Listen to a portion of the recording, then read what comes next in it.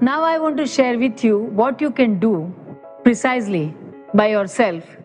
If you have a mild level of blood pressure or if you are already taking medication and you would like to you know reduce it slowly slowly by using and balancing the blood pressure naturally. So diet. After 35 in general 35 40 years of age i tell people always to eat fresh food. Generally it is preferable to eat food which is cooked by yourself at home. If you cannot do that you know in the western countries the life is very fast.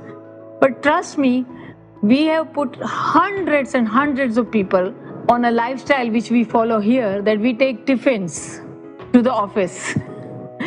Many of westerners actually started preparing quickly khichdi in the morning or mung soup in the morning and they take it in their own tiffin in the office and then heat it up and eat it.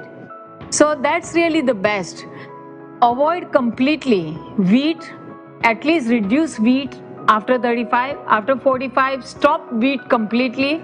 After 60, I would say definitely stop every gluten products and focus more on protein and vegetables in your diet more whole grains like millet uh, quinoa something that is even spelt is okay actually because spelt has less gluten. So in the beginning you can replace your wheat by spelt or even dinkel which is german people call it dinkel actually. So this is the original wheat that we had and the current wheat is completely genetically modified. It produces too much mucus. So dairy and wheat red meat these three things you have to stop completely in your diet have lots of cooked vegetables. 60% of the food should be cooked vegetables. 30% should be protein and 10% should be carbohydrate which will be uh, combination of uh, mixed grains that i was talking to you about.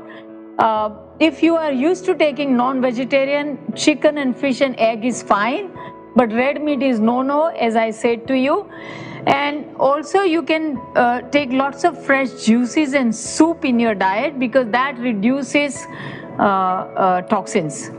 So that was about diet